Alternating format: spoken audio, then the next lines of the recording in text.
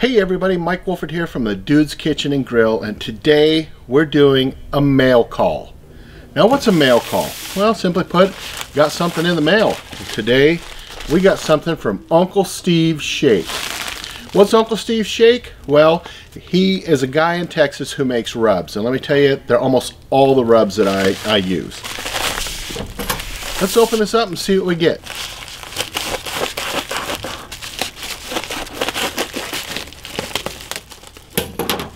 Right on. We got Uncle Steve's Spicier. Can't wait to try that one. Uncle Steve's Thick Meat. Sticker. Right on. That's going to go up on the fridge. Uncle Steve's Original. And the best yet. Uncle Steve's Gator Shake. This stuff is the bomb. Actually, all of this is the bomb, but I love this stuff, and Uncle Steve was nice enough to size it up for me. Sticker. What do you think? Right there? Liking it. It's going to go right below the Pickles Barbecue one.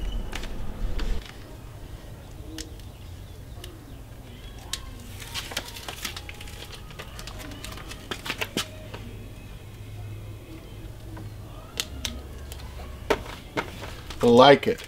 I do dig stickers, guys. I've got some being made myself.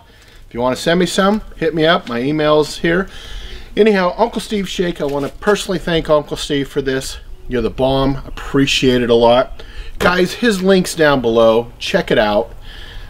Easy to order. Stuff is amazing. I, all of this, I've had all this. This is actually my second order I've had. This stuff is amazing. All right, guys. Thanks for watching. Please remember to like, subscribe, ring that bell for notifications, comment. You know Uncle Steve's is a bomb. If you haven't tried it, check out the link below. Talk to you later, guys, and remember, the dude abides, this time with Uncle Steve's Shake.